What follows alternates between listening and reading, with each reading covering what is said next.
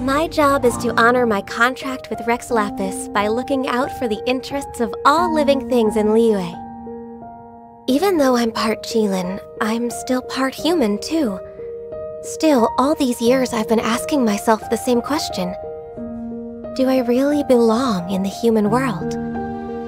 Maybe I'm just like a dendro slime hiding in the earth, burying myself in numbers and reports in order to escape reality. Look how brightly lit the city is at night! Amazing. I wonder what it's like for all the people down there. Hmm? Um, no thanks. I think I'll pass on the night market. Sorry.